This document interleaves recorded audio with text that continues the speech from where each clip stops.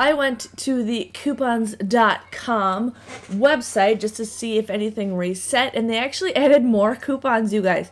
So I'm still printing. I'm gonna just gonna print these off just in case there's some deals coming up in the future.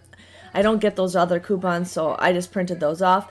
But they did add a 50 cent off a two Snickers coupon a 75 cent off at two Prego, 75 cents off the Prego Farmers Market. We got a dollar off the M&M's fudge or the M&M bars for a dollar off any two. So those could be good coupons. And then they also added the Orbitz gum, you guys. So those are new coupons to print. It's very rare that they ever have candy coupons.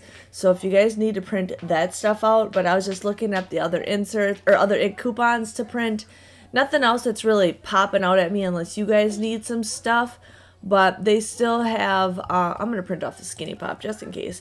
Um, they still have a bunch of the ones that you guys, if you guys haven't printed off. So I'm going to print off the Centrum again. But the Maybelline, the Revlon, the Rimmel, Almay, Kotex, these are still available if you guys have not printed them yet. But just want to give you guys a heads up on new coupons to print. I'm going to try to keep up on the coupons.com site.